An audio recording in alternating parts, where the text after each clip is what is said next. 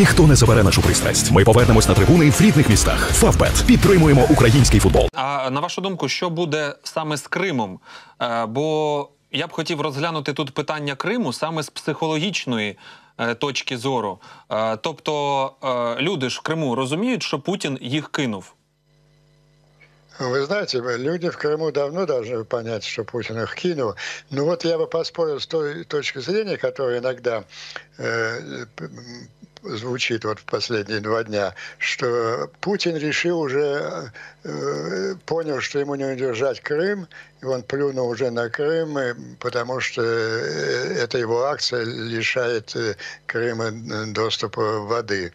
Да наплевать ему, да, то будет у Крыма вода или нет. Ни в коем случае он от Крыма еще не отказался, потому что отказаться от Крыма, признать, что Крым потерян России, это, это покончить политическим и фактически физическим самоубийством. Так что никакого тут изменения личных планов Путина в отношении Крыма э, не, не произошло. А тот факт, будут ли крымчане получать или нет, вот он даже в голову ему не пришел, когда он принимал решение о взрыве этой дамбы, уверяю вас. А дестабілізація ситуації в Криму може бути? Не знаю, мне трудно судить, я не знаю о внутренней ситуации. Стабилизация в Крыму будет, когда будет взорван Кры- и уничтожен Крымский мост. Вот это приведет уже к дестабилизации всей э, российской военной машины в Крыму, когда они начнут бегство оттуда. Угу. Е, що ж, давайте тепер продовжимо про Путіна говорити. Е, Путін подякував бізнесменам е, Російської Федерації, які багато зробили для подолання важких наслідків санкцій. Кому він подякував і які ж там наслідки вони змогли подолати? Да, ничего, они, у них, он у них брал все, не спрашивая, то, что ему нужно на военные расходы, он обкладывал их дань. Это такая формула речи. Я вас забираю, э, и миллиарды долларов и благодарю за то, что вы их мне добровольно отдали. Е, Цікаво. Ну а вони реагувати якось будуть захищати своє, чи там без варіантів неможливо захистити? Ну, меньше всего я бы рассчитывал на э, какую-то деятельность э, российского бизнеса и российской элиты э, в защите своих интересов. Но то, что они ненавидят Путина, мы об этом знаем по утечкам их разговоров и, и так называемых, кого же там, Илья Пригожина, еще других бизнесменов. Это все известно. Но никакие действия они не способны. Угу. Е, в 23-му году ВВП Росії може зрости на 1-2%, Про це сказав Путін. Е, ну, як, як на мене особисто, дуже оптимістично він так е, дивиться на економіку Росії. Ну, вы знаете, я вообще скептически отношусь э, к такому измерению экономического э, состояния, как э, процент роста. Это очень условная характеристика. Э,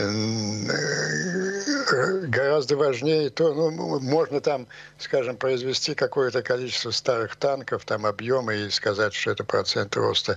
Гораздо важно для понимания состояния российской экономики это тот серьезный удар, который нанесли санкции в получении высокотехнологичной продукции.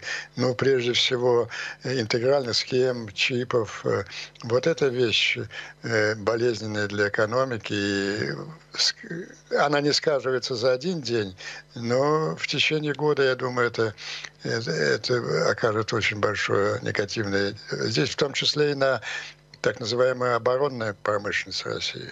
Угу. Е, цікава новина, е, яка стосується саме безпосередньо безпеки України. Е, США запровадили нові санкції е, за допомогою Ірану у створенні балістичних ракет.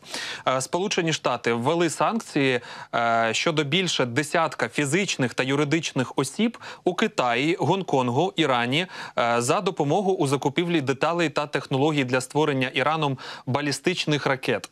Е, Цікава інформація. Тут питання тільки одне: чи допоможе це нам, е, щоб нас так сильно не обстрілювали цими ракетами і шахедами?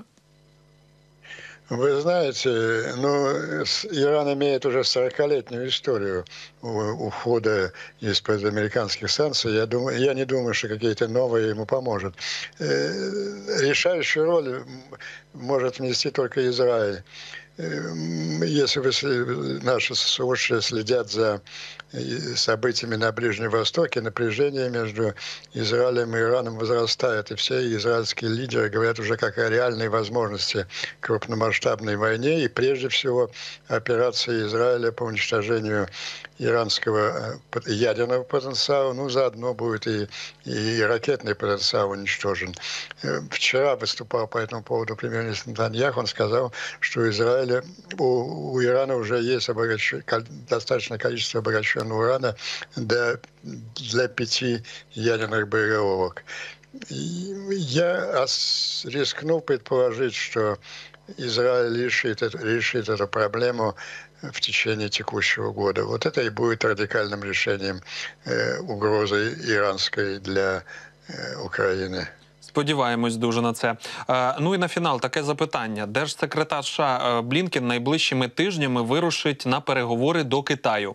Е, про це пише Блумберг. Ну зрозуміло, що вони хочуть якесь потепління зробити е, між е, Америкою та Китаєм, але експерти прогнозують велику війну у далекому майбутньому. Але все ж таки зараз намагаються якось зробити це потепління.